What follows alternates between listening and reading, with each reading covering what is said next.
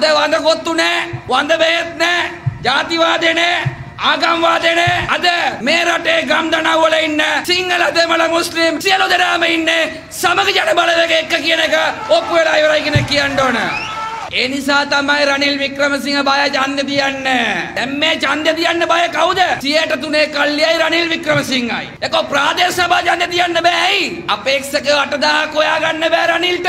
දැන් මගේ ආසනය ගත්තොත් නගර සභාවට දෙන්නෙක් හොයාගන්න බෑ. ඒ නිසා හොඳින් හරි නරකින් හරි 11 වෙනිදාට අපි කොළඹ ඇවිල්ලා මේ ඡන්දය ගන්න එක ගන්නවාමයි කියන එක මම පැහැදිලිව කියන්න ඕන. දැන් මේ කට්ටිය කියනවා පෝලින් නැහැලු. ඔව් ලීටර් 10ක් දුන්නා පෝලින් නැහැ තමයි. අනුරාධපුරයට මලකයක් වුණාම යන්න පුළුවන්ද? අන්න අයවෙන් ආයි රුපියල් 25ක් පෙට්‍රල් ඩීසල් වැඩි වෙන්න හදන්නේ. තුන් වේල කාපු මිනිස්සුන්ව දෙවේලක් කන තත්ත්වයටපත් කරලා තියෙන්නේ. ළමයින්ට කිරි වීදුරුවක් දී ගන්න බැරි තත්ත්වයටපත් කරලා තියෙන්නේ. ළමයිව ටියුෂන් යවන්න බැරි තත්ත්වයටපත් කරලා තියෙන්නේ.